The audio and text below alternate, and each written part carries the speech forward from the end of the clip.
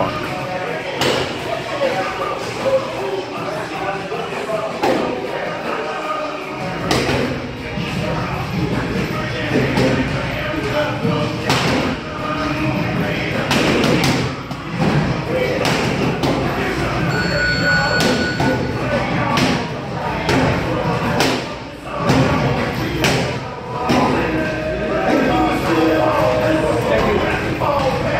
Puede ser otra vez porque yo no, yo no solamente da.